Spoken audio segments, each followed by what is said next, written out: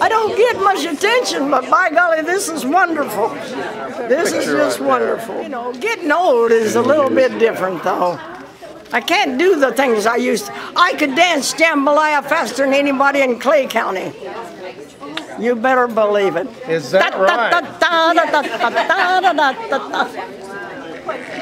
Put her there.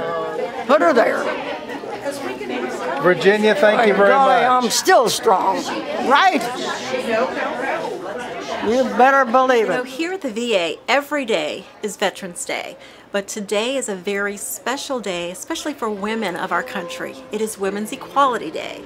And this year we wanted to focus on a group of women who really had a great impact on our nation. We wanted to focus on World War II and Korean area women veterans. And she is double bubble today.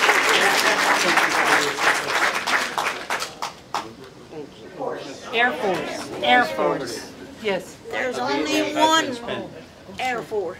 I was giving shots to the guys coming back from Guadalcanal, and they came back, and I was doing fine. I was hiding my needle, uh, and this great big guy must have been six foot something. Anyway, came up, and as I tried to give him a shot, on the floor. He fainted. I, I'm sure he was razzed something terrible. I thought it would be patriotic to begin with, but in the second second place, my dad uh, never had a boy. He never, in fact, he, he died real, real young, and so I thought he'd be real pleased if his only girl, I mean, no, his his oldest girl, uh, went ahead and joined the Navy, and uh, he was never around to tell me, but I think he'd have been pleased. know.